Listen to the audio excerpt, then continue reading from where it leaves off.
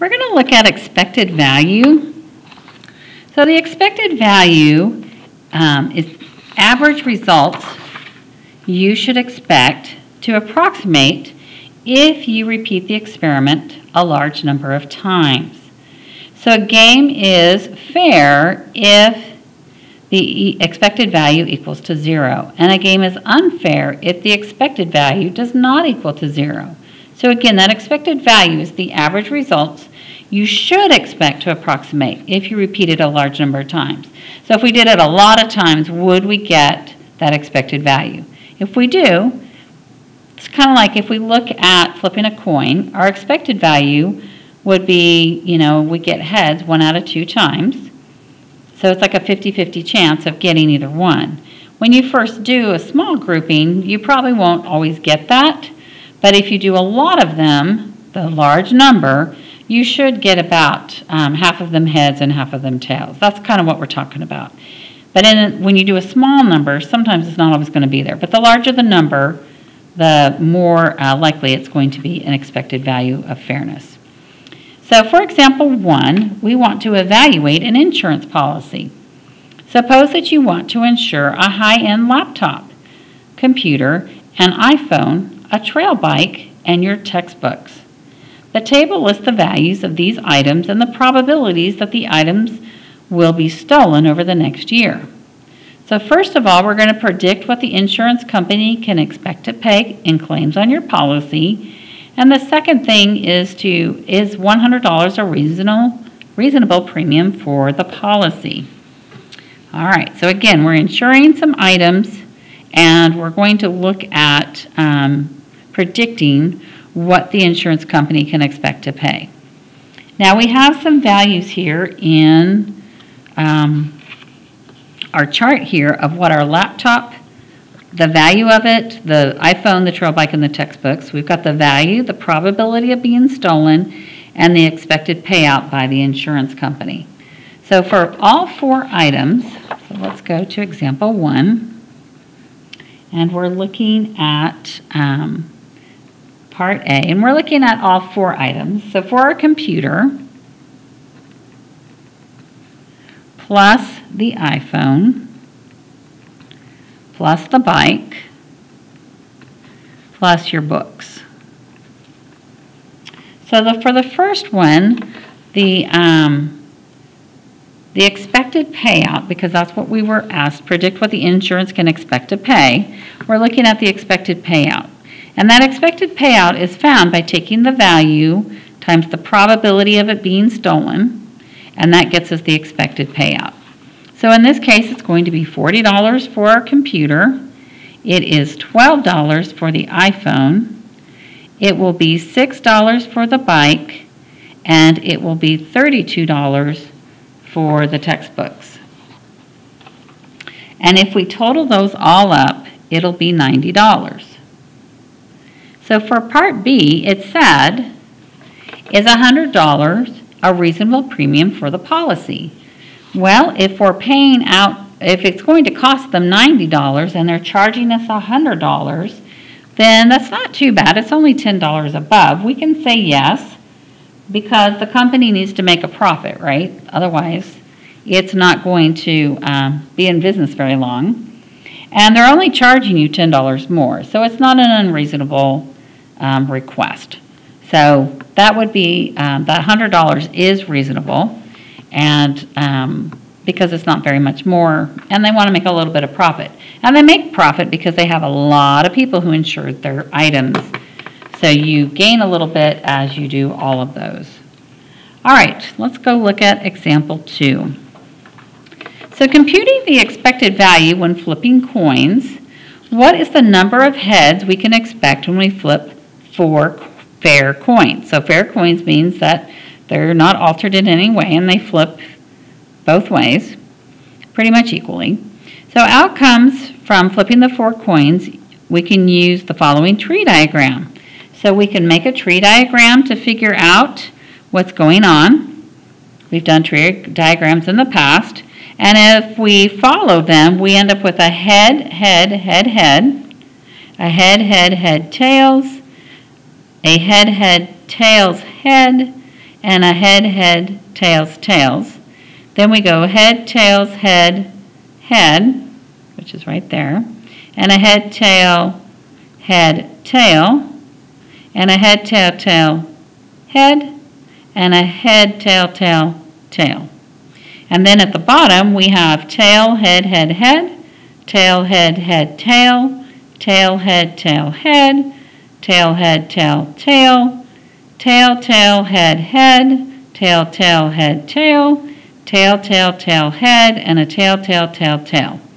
So we use that tree diagram as we flipped one coin, we flipped two coins, three coins, and four coins to figure out what we've got going on here. And we want to know what is the number of heads we can expect when we flip four uh, fair coins. So what we're going to look at is we're going to make a little bit of a chart here. So we're going to look at the number of heads. And then we're going to look at the probability. Oops, I guess we don't need that line. That's okay. It'll be fine. All right, so for our number of heads, we might get one or zero heads, one head, two head, three heads, and four heads. So we're going to go look at whenever we had zero heads, that means we got all tails, right?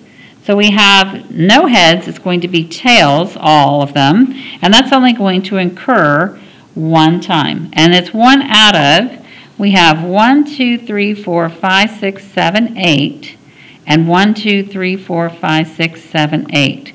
For the eight up here and eight down here, so that eight plus eight will get us 16 possibilities.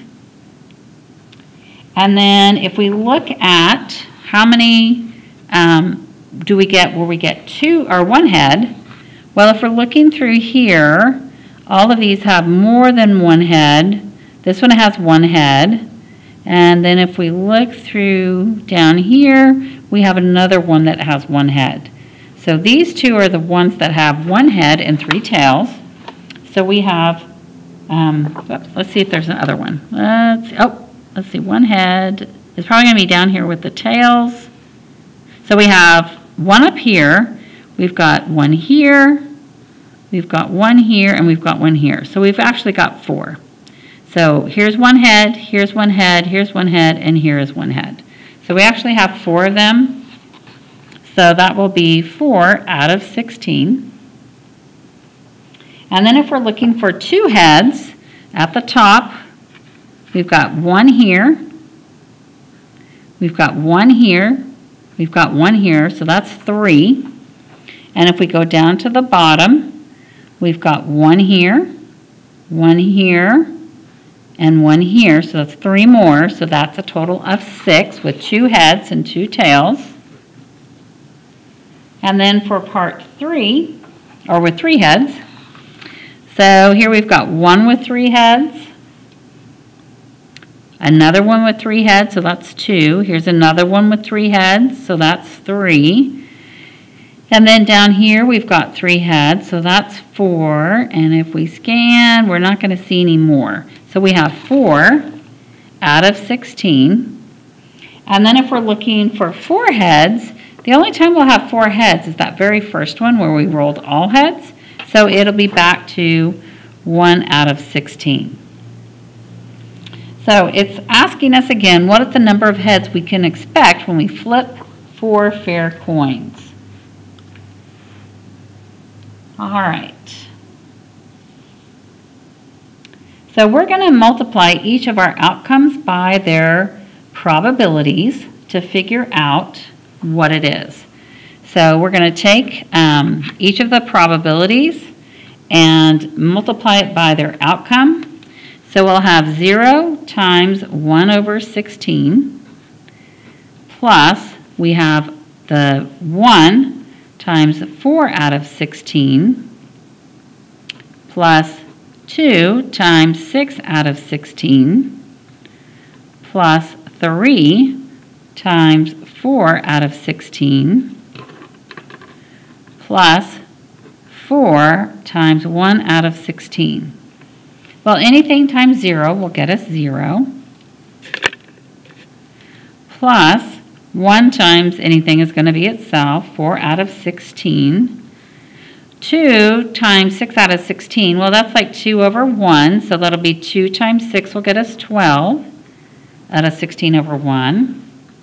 Same thing will happen over here. We'll have 3 over 1, so 3 times 4 will get us 12 out of 16 times 1. And same thing will be over here, because when we multiply, we just multiply the top and the bottom, so we'll get 4 out of 16. Now, if we add all of those, they're all the same denominator, so that's why we didn't reduce any of them. So we've all got them over 16, so 4 plus 12 will be 16. 16 plus 12 would be 28, plus 4 would be 32. And then we can reduce that. 16 goes into 32, or 32 is divisible by 16 two times. So we would expect to flip two heads when flipping four coins. So this actually, it corresponds to a 50-50 chance which is what I talked about in the beginning. If we flip a coin, because um, of flipping a coin, let me finish writing first. If we flip a coin, it has two sides, so we would expect half the times we get heads, half the time we get tails. And if we do um, the number of heads times the probability, then that gives us an idea of what could happen, how many heads would come about. And so we can expect that we would get two of them.